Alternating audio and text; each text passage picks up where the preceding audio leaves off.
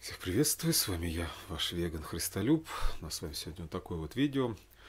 Возрастание в познании истины или более длинное название это «Откуда разномыслие?».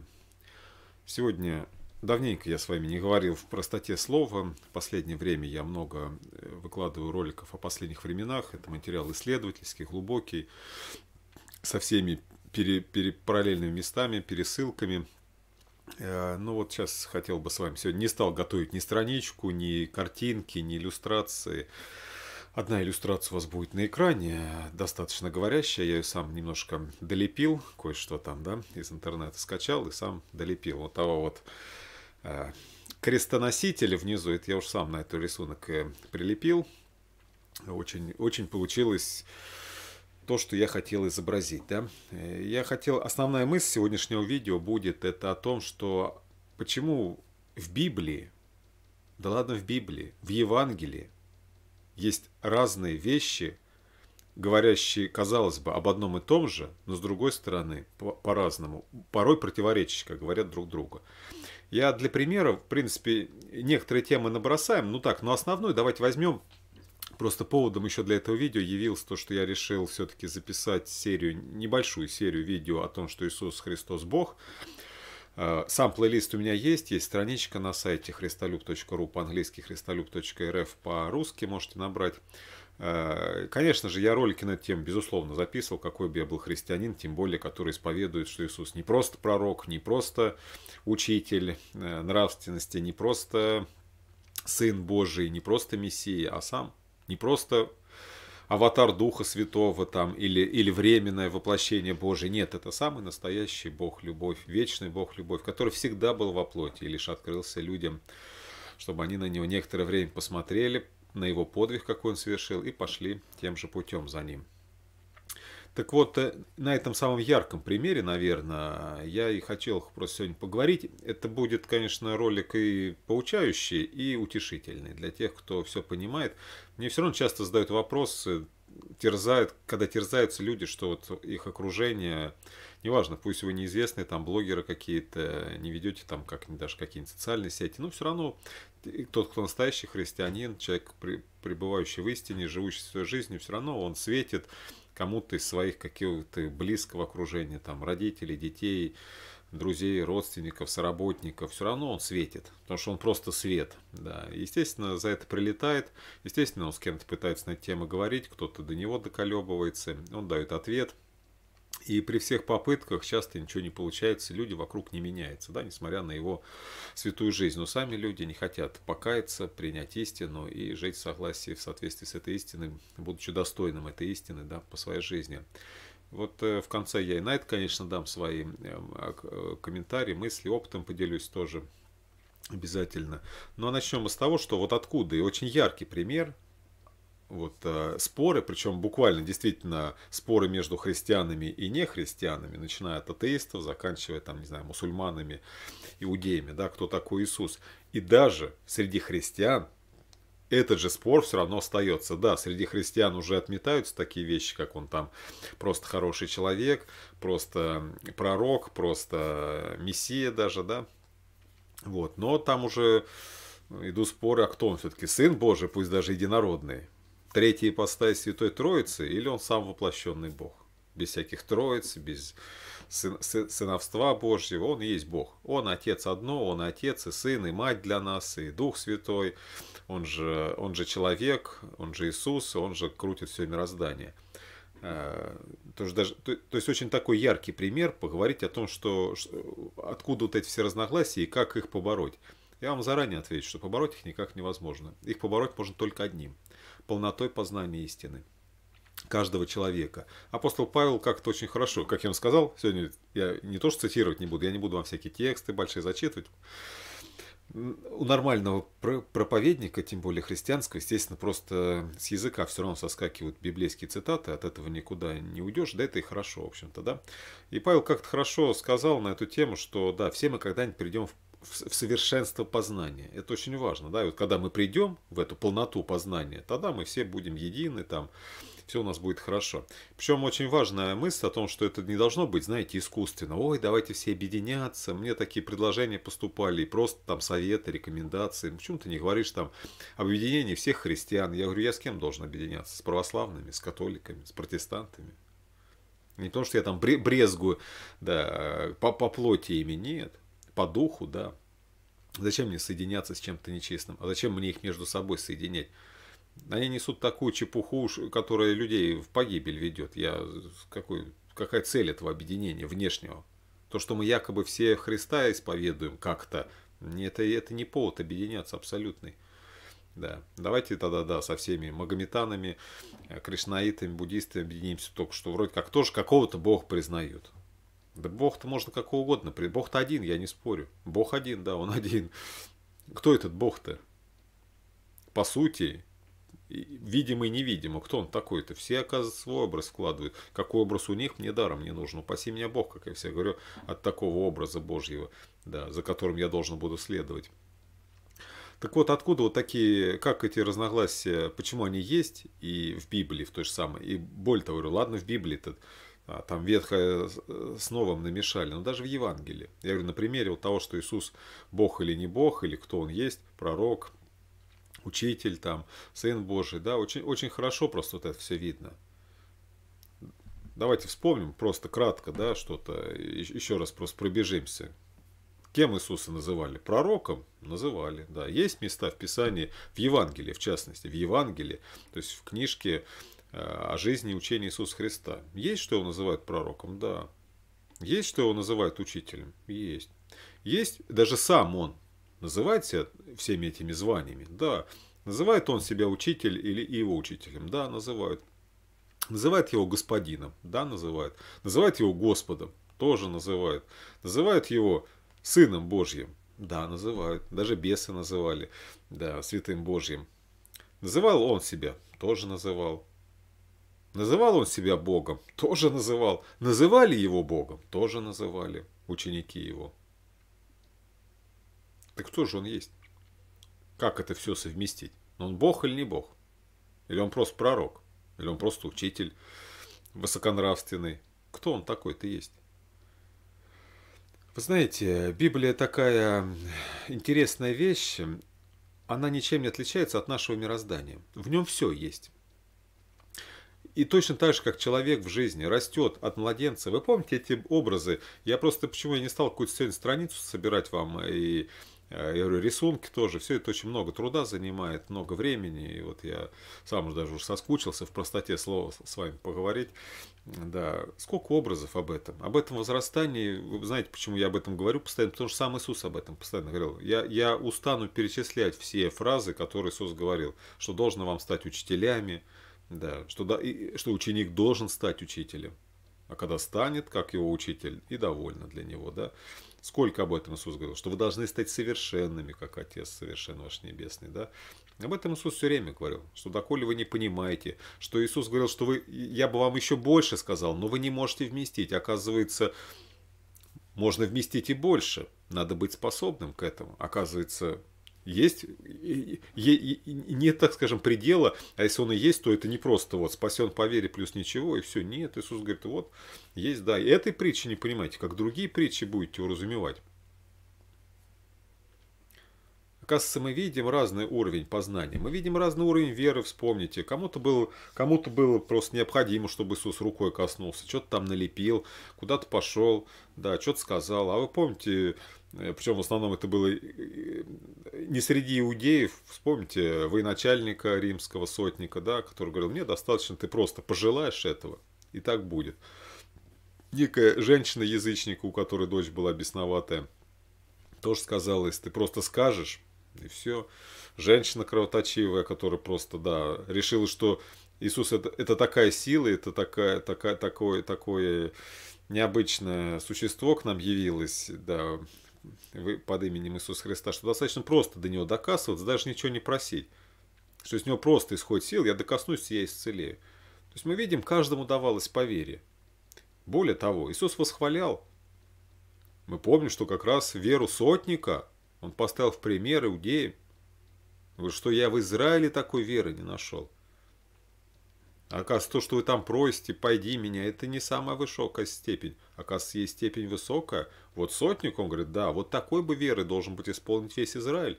Чего я не нашел. Мы видим же это, что планки разные. Оказывается, действительно, путь христианина это, – это не спасение по вере плюс ничего, я свят праведностью Христа. Нет. Ты каешься, не зря есть понятие рождения от Святого Духа. Ты только зачался, родился, потом ты младенец во Христе. Вы помните, Иоанн так и писал, пишу вам дети, пишу вам юноши, пишу вам старцы. Там он, конечно, и по плоти имел в виду, но и по духу.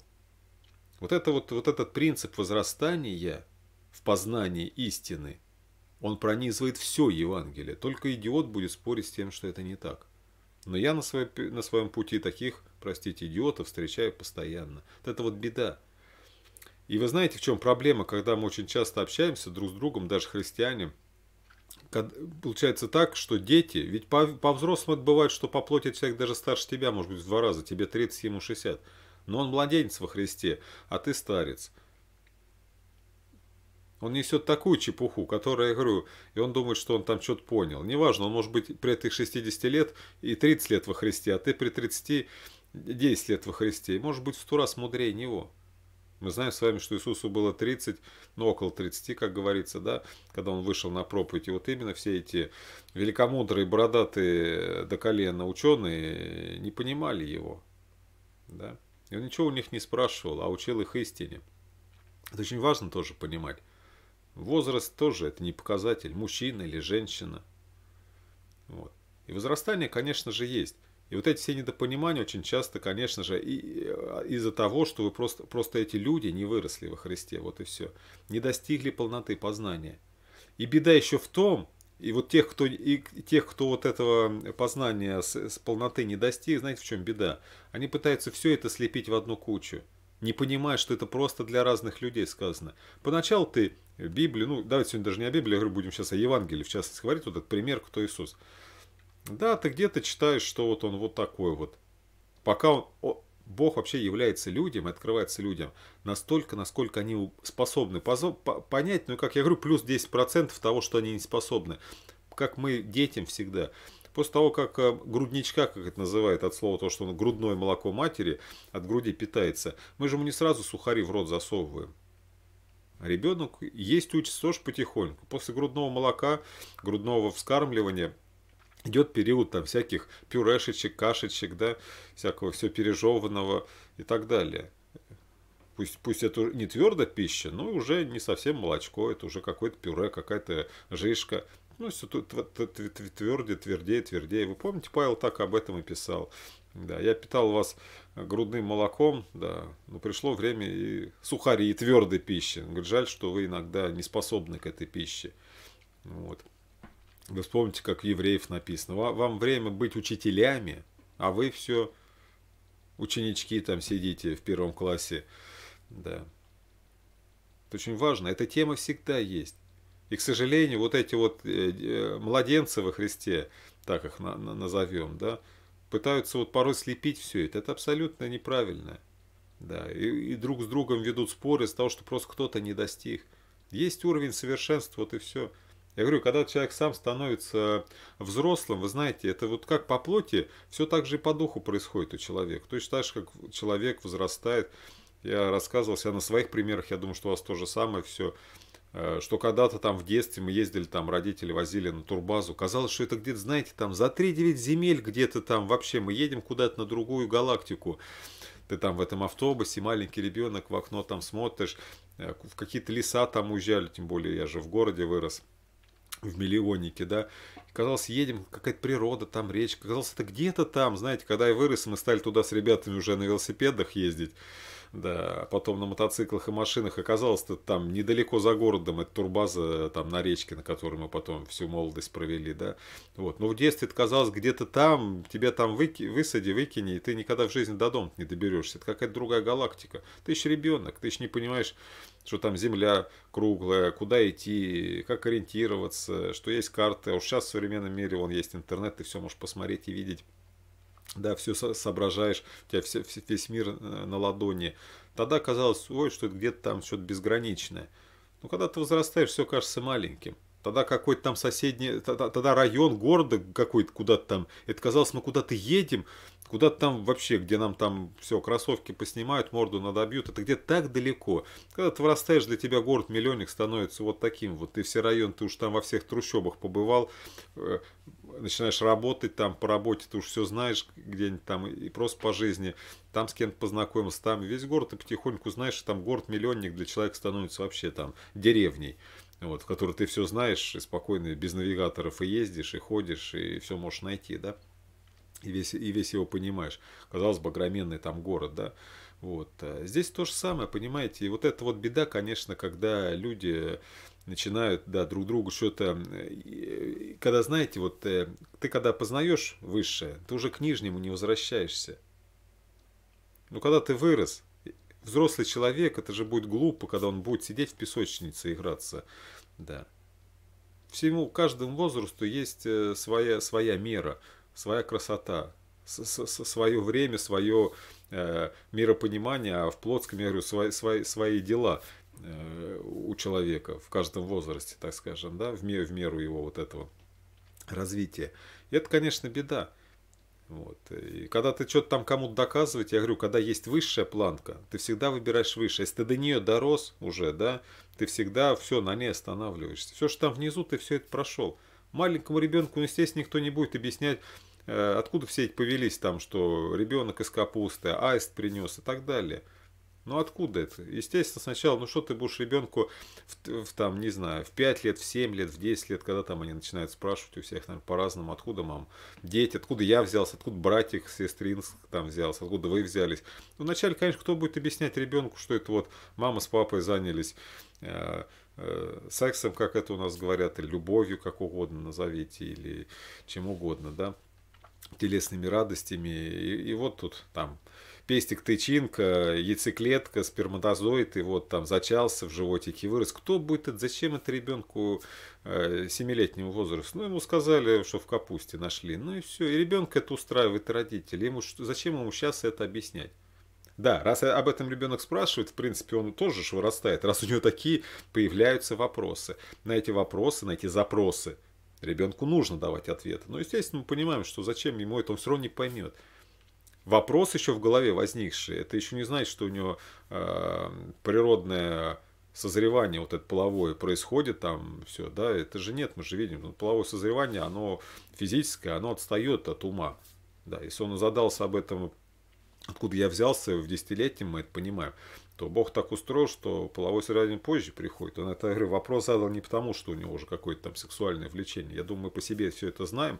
Хотя мальчики за девочками бегают и косички там за косички дергают уже где-то в первом классе. С одной стороны, можно где-то тоже это совместить. Но действительно, может быть, я говорю, где-то там это и есть какая-то связь прям. Но она настолько тонкая и порой невидимая мы же этого не, не, не так прям созерцаем. Одно дело дергать за косичку, но он же ей не предложение делает, да.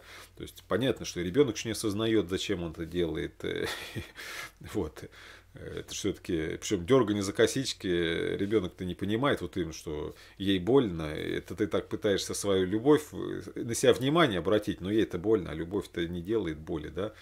Как говорят, любовь не причиняет боль. Боль причиняет э, те, кто не умеет любить. Вот. Поэтому где-то оно связано, действительно, да. Но кто действительно нормальный человек будет там, я говорю, не знаю, ребенку в возрасте там 5-6 лет объяснять, как по-настоящему дети происходят. Вот. Ну да, уже действительно в более взрослом возрасте, но будет глупость, ты будешь до, до 15 лет настаивать, что его аист принес. Особенно в современном мире, когда есть доступ к интернету уже даже у маленьких детей, там, не знаю, кто там как блокирует через эти смартфоны или не дает, но они у других могут смотреть, у своих сверстников. Вот, то есть, конечно же, в принципе, даже с ребенком, во-первых, в том самом сексе нет ничего плохого, конечно, поэтому можно прямо с ребенком говорить, но я говорю, тут надо просто понимать, что всему свое время, да. Э, возьмите э, какие-нибудь научные знания, то же самое, да, начинается с маленького, человек там 2 плюс 2 складывает, какие-то простые вещи. Возьмите любую профессию. Ну, сначала ты делаешь простые вещи, потом ты там, как говорят, какие-нибудь филь- выкручиваешь. Возьмите творчество художников, там, не знаю, певцов, поэтов, музыкантов. Ну, сначала ты два аккорда еле-еле там берешь, а потом там такие, вон, посмотрите на великих каких-нибудь музыкантов, каких-нибудь инструментов, какие-нибудь там пируэты выкручивают с этим инструментом, да, какие виртуозы там совершают. Возьмите какой-нибудь спорт, да. Ну, сначала как-нибудь корявенько двигается. Посмотрите, какой там танцор потом в каком-нибудь определенном жанре вырастает, да. Человек развивается. Человек развивается. И уже развившись, если он стал гениальным там гитаристом, там, я говорю, там за пальцами следить не успеваешь, как он играет. Ну разве он сможет когда-нибудь сыграть теперь плохо? Разве он может теперь делать что-то плохо, когда он это делает в совершенстве? Он даже сымитировать при желании хороший танцор какие-нибудь уродливые кривляния своих первых начинаний. Он просто физически не сможет. У него уже все в привычке, он, он что бы не пробовал, у него классно уже получается. Потому что он стал просто э, совершенным профессионалом своего дела. Вот и все. Он разве сможет? Э, даже ради юродства у него это будет выглядеть просто прекрасно. Это так и есть. Здесь то же самое, знаете. Вот возьмите, я возвращаемся теперь к Евангелию, да, для тех, кто дорос, дорос до того, что Иисус Бог, да, что смущаться на того, что вам вот тычет в Библии, вот, а тут вот он себе там говорит, вот, сына человеческого вознесете, да, да, или вот вы называете меня учителем, и я точно то, да, ну что, ну говорит, да, и что, ну говорит и другое, я есть он, я сущий, говорит, говорит, ученики его по-разному о нем говорят. Но этот богослов говорит, что вначале было слово, и слово было... Вначале было слово, и слово было у Бога, и слово было Бог. Оно было и стало плотью, и обитало с нами. Если он говорит, что этот, этот Бог Слово стало плотью и обитало с нами, которое мы видели своими глазами, слышали своими ушами, осязали своими руками, ну что, ну куда это денем? Как мы будем это совмещать с чем-то другим? Это несовместимые вещи. Это просто высота познания, ты познал, так прими это и будь спокоен. Другому ты можешь точно так же просто сказать, примет он хорошо, дорастет он до этого хорошо. Нет, ты ничего не сделаешь, если он сегодня еще до этого не дорос. Ни в коем случае только не принимайте вот эту вот глупую мысль. Я сколько слышал, знаете, вот, да пока Бог человеку что-то не откроет, ничего ты не сделаешь. Ну, знаете, тогда зачем Иисус приходил? По такой же логике можно, да. Ведь Иисус сам говорил, что в принципе, да, вы не познаете истину до тех пор, пока Отец вам не откроет. Это действительно так, но при этом Иисус внешне трудился, людям открывал истину. Просто другой вопрос, мы в конце к этому еще подойдем, подойдем, да я сейчас скажу, что действительно, как Иисус научил, нам сердце надо постараться вопрос не рвать. Иисус прямо сказал, заходите куда-нибудь с миром, раз-два сказал, слушают, Хорошо. Нет, не принимают тебя. Вышел, отряс прах, пошел дальше. Вот и все. Тут просто надо научиться, как я называю, святому пофигизму во Христе. Это не сразу приходит. И это не говорит, что у тебя на сердце должно быть ожесточение или пофигизм сердечный. Нет. У умом просто надо себя понять в этой жизни, что даже знание о том, что Бог есть абсолютная любовь, и что все когда-нибудь покаются. И когда-нибудь, как Павел писал, все мы сольемся в едином хороводе любви, что Бог будет всячески во всем – это не значит, что сегодня надо в две крайности впасть. Либо забить на все, либо наоборот там чуть ли не кувалды кому-то что-то в голову вбивать. Нет, тут должна быть гармония. Ты сказал, кто тянется, продолжай. Кто оттолкнул тебя, отойди. Вот и все. Мы что-то делаем, да, но результат от нас не зависит действительно. Кто-то уже распахан, кто-то готов в жизни к этим познаниям, кто-то нет. Это очень важно, да? Э, возьмите спасение по вере протестантское, как всегда, этот бред, да? Можно вырвать, вырывать из Евангелия и уж тем более из Нового Завета там мест, где Иисус говорит, даже Иисус говорит, да, верующий в меня имеет жизнь вечную. Ну да, хорошо говорит. А что дальше написано? Он сказал уверовавшим в него иудеям. Да, сначала Иисус говорит, ты поверь сначала в меня, мне и в меня, кто я и что я говорю. Ты поверь в это. Потому что я говорю, будешь святой жизнью жить, Будешь в раю, а будешь грешный, будешь в аду. Поверь мне, что я тебе говорю как Бог, но что только Бог такой может провозглашать истину, так скажем, и ты должен принять ее как истиной. Ну, естественно, поверишь, последуешь, потому что она связана с твоим будущим, с твоими результатами, с последствиями того, что ты будешь делать.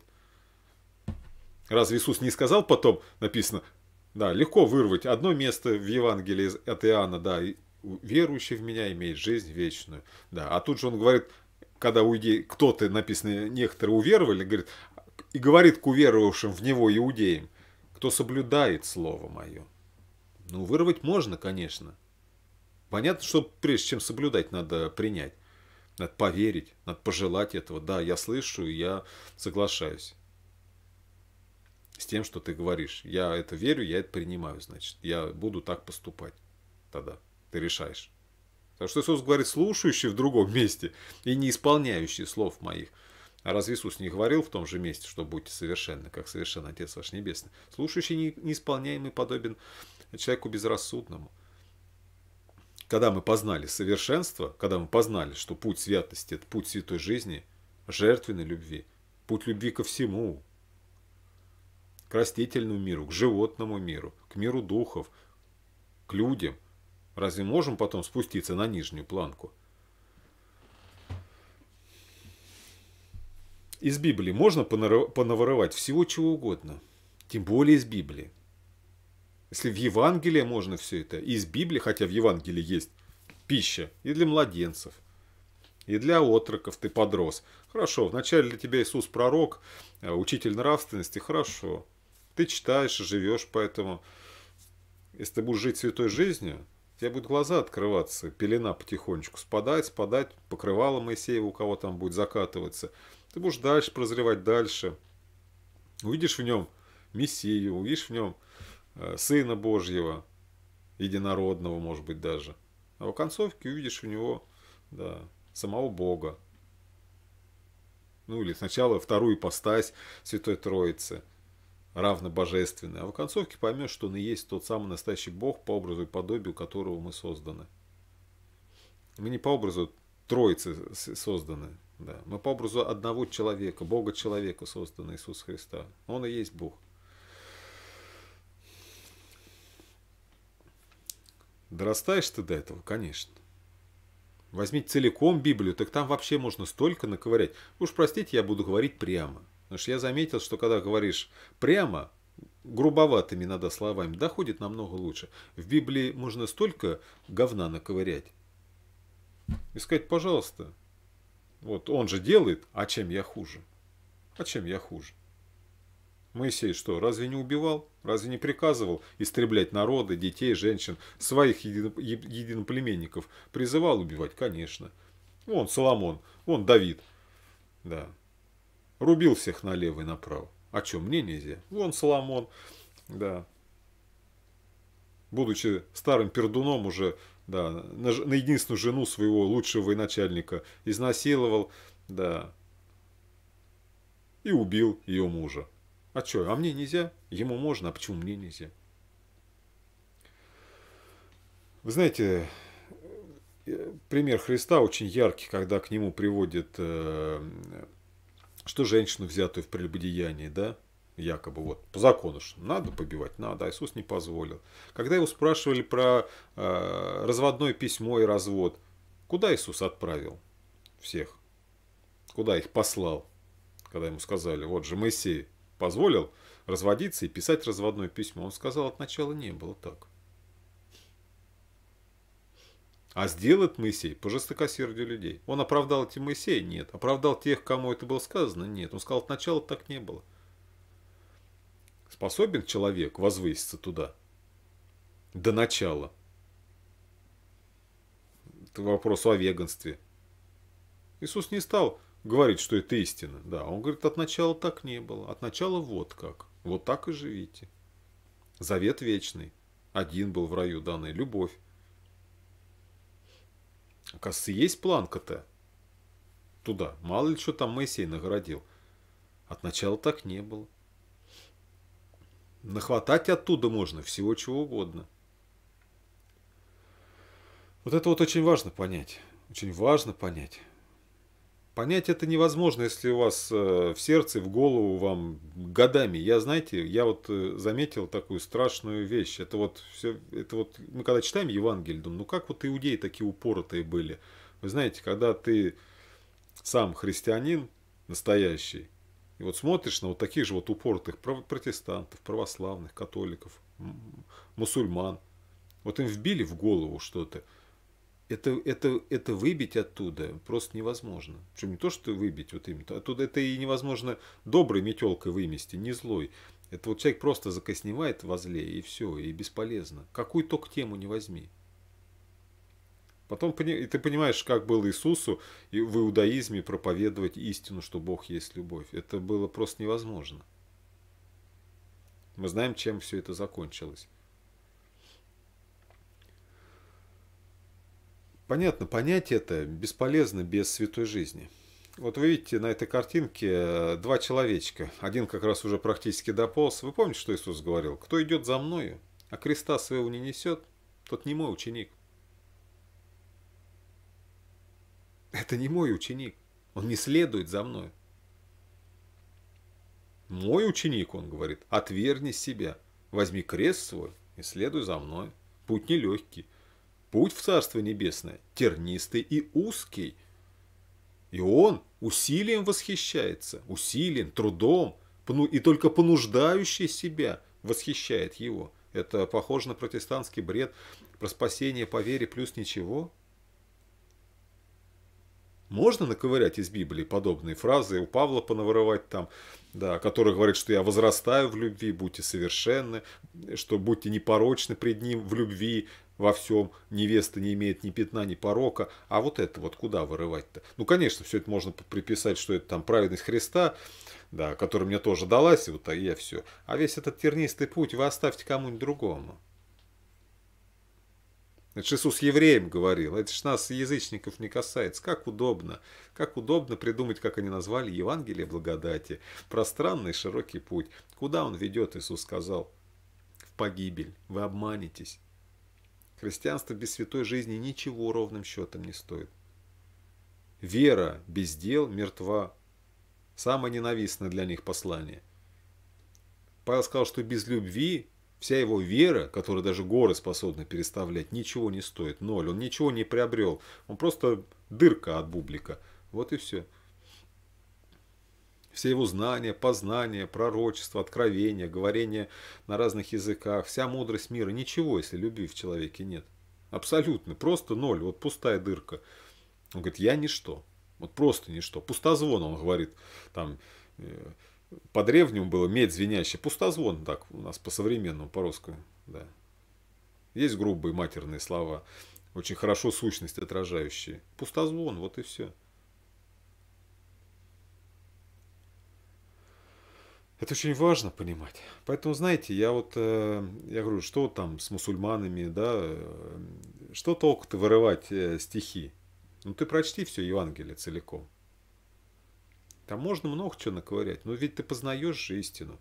Ты вначале, Иисус очень хорошо, вы же помните, да, случай, где он исцелял одного слепого, и он не сразу, разве Иисус не мог, мог, не мог его сразу исцелить, если он слепорожденному человеку тут же даровал зрение? Почему вдруг там с некоторым слепым такой казус происходит, что Иисус не сразу исцеляет? Там был образ, конечно же, и человек этот был. Это образ, конечно же, прозрения нашего, которое происходит. У нас не сразу все открывается. Любой человек, а, идущий христианской жизнью, святой жизнью, прекрасно понимает, каков он был на заре, на, на рассвете своего христианства, каков он на, на, на закате, на, на заре так скажем. Конечно, это два разных человека. Одно дело, ты вчера узнал истину, покаялся, начал творить какие-то плоды, достойные покаяния. Но тот, кто ты был там в начале, тот, кто ты сегодня, это вообще два разных человека. Конечно же, мы не сразу до всего этого доходим. Я говорю, достаточно всех этих, вы помните, таких э, предъявительных слов Иисуса своим ученикам, что род неверный, прелюбодейный, доколе буду терпеть вам, да, как вы всего этого не понимаете, еще много имею к вам сказать, но вы не можете вместить. Что я сейчас делаю, когда умывает ноги, говорит, вы не понимаете, но позже поймете. Что сейчас за мной идти не можете, но позже пойдете. Это путь. Христианская жизнь – это путь. Путь нелегкий. Это путь святой жизни. И по мере э, некий Иоанн Лествичник, православно-католический святой, так и говорил, истина познается по силе жития. Это замкнутый круг, я вам всегда рассказывал. Иисус прекрасно выразил это словами, что я свет пришел в мир, но вы не хотите прийти к свету, потому что дела ваши злы. Вот казалось бы, как прийти к Иисусу? Ну, по идее, к нему идут грешники, то есть у кого злые дела. Они идут ко Христу, каются и начинают творить добрые дела. А Иисус говорит, что вы не хотите прийти ко мне, покаяться, творить добрые дела, потому что дела ваши злые. Так с чего начать-то? Надо сначала прийти ко Христу. Или сначала стать добрым? М? Какой вопрос-то? Вы знаете, я об этом много раз вспоминал, говорю, особенно когда Евангелие перечитываем простых. Иисус гениальную вещь сказал – Никто, конечно, не найдет там э, конца и края в том плане курицы или яйцо. Это извечный вопрос. Тем более, все это где-то происходит на серединке нашей жизни, так скажем. Действительно, люди приходят к познанию истины. Каким образом? Вот они слышат об истине и принимают ее. И начинают менять свою жизнь, отвергая зла и творя добро. Или они действительно, те, кто мы видим, что при, приняли истину, то они и сами до этого, уже сердце их было распахано. Может, в жизни что-то произошло, они э, умягчили сердца свои какие-то случаи в жизни. Еще где-то слышит слово о Христе, там, слово об истине. Принимает его, да потому что у него жизнь, Бог там его подраспахал какими-то событиями. Может, он вчера еще был негодяем, но что-то в жизни его перепахало, какой-то случай, да. И он стал задумываться, правильно ли он живет. То есть он уже изменился. А тут еще, на, как Иисус говорил, на добрую землю еще и семечко упало, да, Евангелие. И оно да, начинает возрастать, конечно. Что вперед? Оказывается, это вот такой вот круг, как мы каждый день с вами живем, с утра проснулись, вечером э, э, э, ложимся. И так каждый день. Так как христианская жизнь. Творишь добрые дела, любишь все, познаешь, что Бог и есть любовь. Познаешь от, через славу, познаешь сущностью всей своей. Познаешь сущность, еще больше стремишься к святости, к добрым делам, к любви всего на свете. Растительный, животный, животного мира, людей, духов. Еще больше всех любишь, проявляет в своей жизни. Еще больше познаешь через дела, твоя сущность меняется. Да. Если ты сначала сдерживаешься, чтобы не творить зло, чтобы не послать кого-нибудь подальше, не обозвать, не оскорбить, даже, даже тех, кто тебя оскорбляет, то потихоньку это становится твоей сущностью. Ты все меньше сдерживаешься, все больше э, э доброта становится твоей сущностью. Сначала ты себя понуждаешь сквозь зубы кому-то не ответить, кому-то, наоборот, выдавить доброе слово, вот им даже врагу своему. Потом твоя сущность становится, для тебя это нормально становится. Взял там, я говорю, пассатижами руку разжимать, чтобы кому-нибудь 10 рублей бросить там.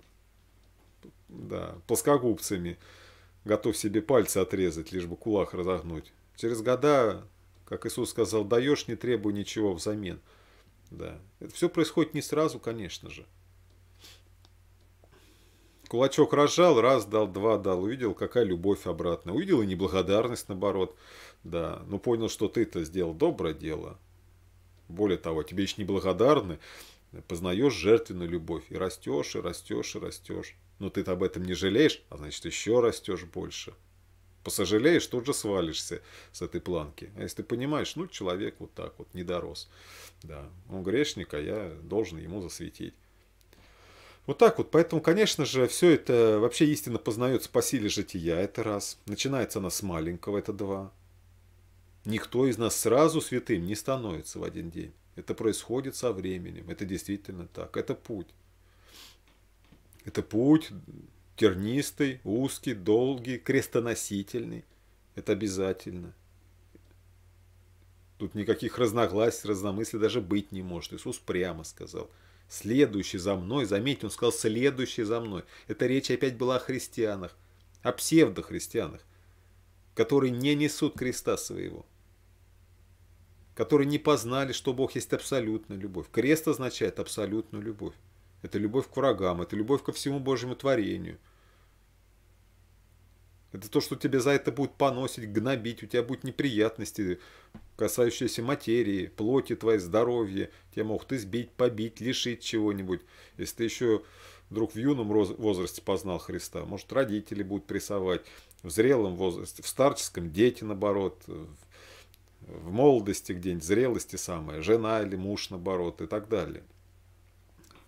Начальники, подчиненные, смешки, подставы, насмешки, унижения, оскорбления. Вот что такое несение креста. А ты все равно любишь. Это не значит, что ты молчком всегда никому ничего не отвечаешь, правду не говоришь. Но это не значит, что ты им, конечно, с кулака зубы выбиваешь. Ты даешь четкое, твердое основание своего учения, своего мировоззрения и свидетельствуешь. За это страдаешь. Но говоришь людям правду в лицо. Это очень важно понимать. Вот и все. Только поэтому в Евангелии. Я говорю, возьмите то же самое веганство. Если вы способны Э, услышать слова Христа, что от начала не было так. Это же касается всего. В раю был завет вечный. К сожалению, сшили там все вместе. Книгу Бытия и все это Ветхим Заветом назвали. С 1 по 9 главу книги Бытия, все, что нам описано, это, по идее, должна была вообще быть отдельная книга, ее надо было как-то выделить. Это допотопное человечество, это завет вечный. Это где действительно сотворенный мир был абсолютно, он был вечен, там не было смерти, он был абсолютно свободен. Бог вообще никак не вмешивался в жизнь того, своего мироздания, так скажем. И, мы, и, мы, и была заповедь одна – любить друг друга. И мы посмотрели, когда Бог все это отпустил, чем все это закончилось. Суть зло помышления в сердце человека от юности его с утра до вечера. Вот к чему докатилось. Но завет вечный никто не отменял, он был от начала. Это любовь и свобода. Естественно, это тебе и дарует вечную жизнь.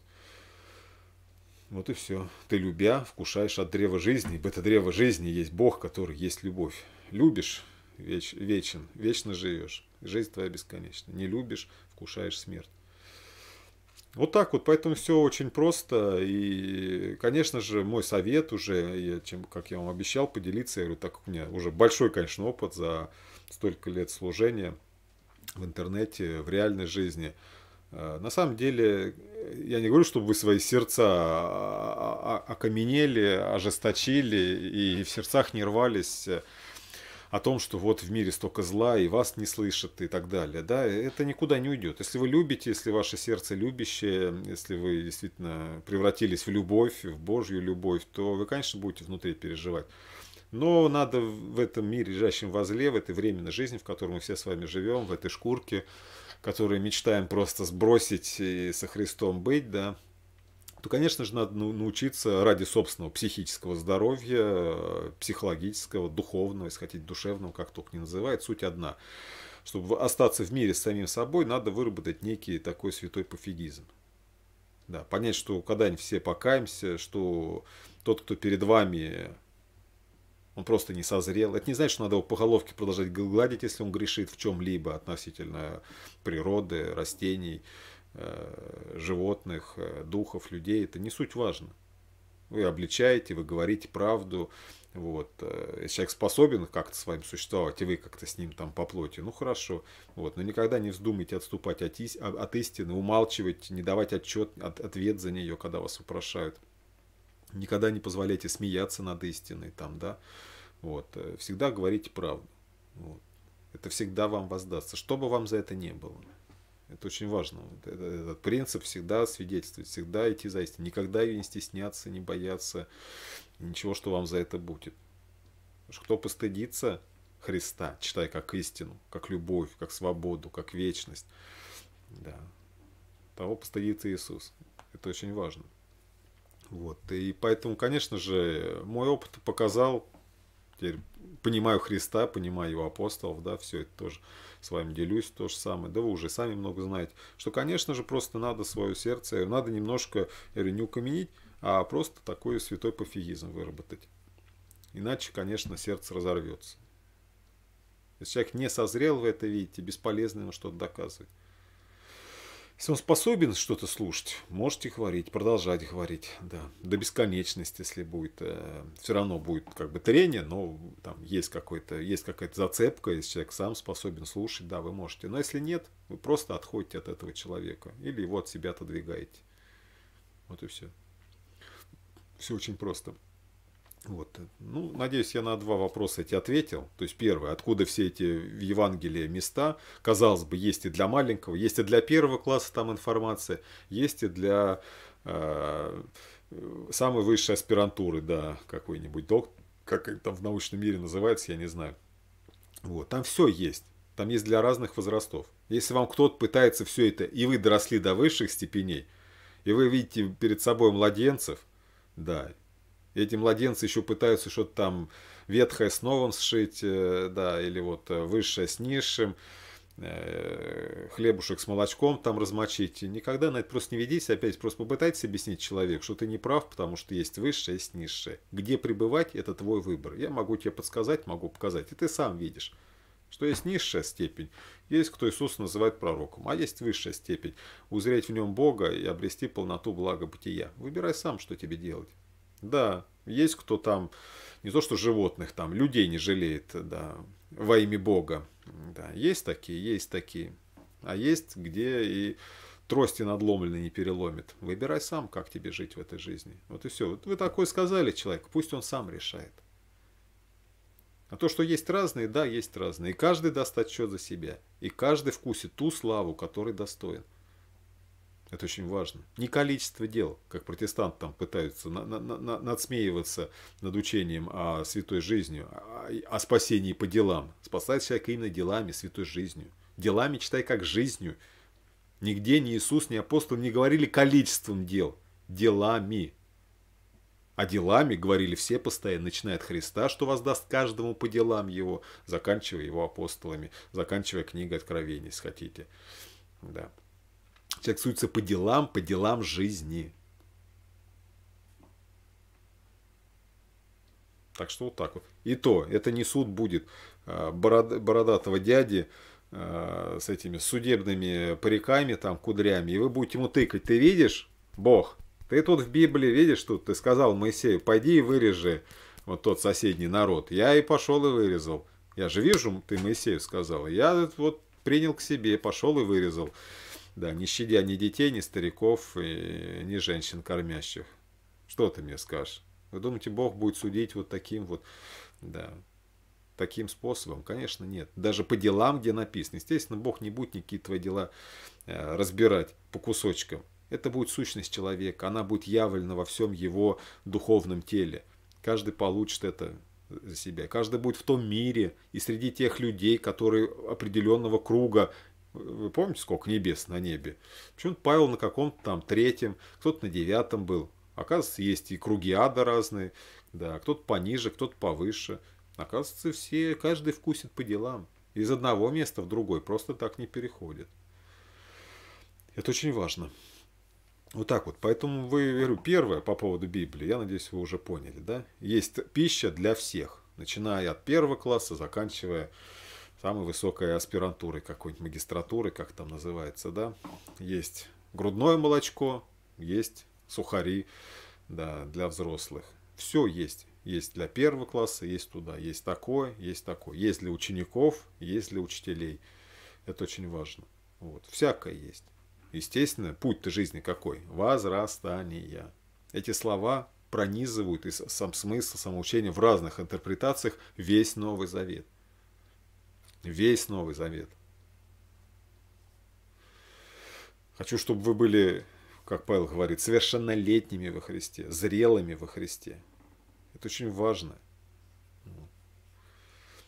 Так что вот так вот.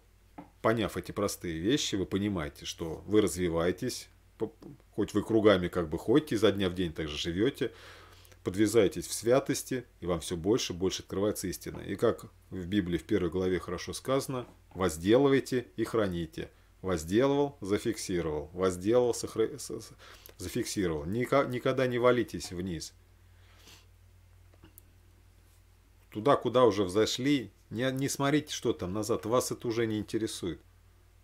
То, как вы раньше понимали, да, это даже не значит, что вы тогда, вы на том уровне просто понимали. Вот и все.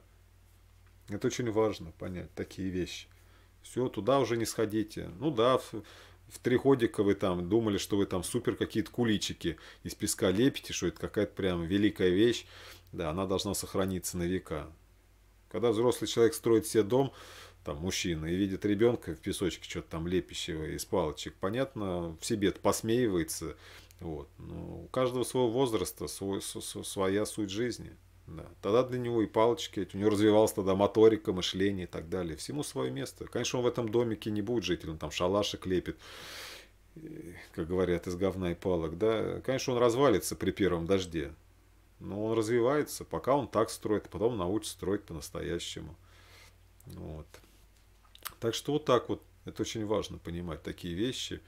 Вот. И не рваться сердцем потихоньку в жизни приходить вот к этому пониманию, самому достигнуть совершенства, это очень важно. И должна быть цель жизни каждого человека, стремящегося к познанию истины. У нее есть предел, у нее есть совершенство, так скажем, к которому мы стремимся. И потом научить этому других. Вот и все.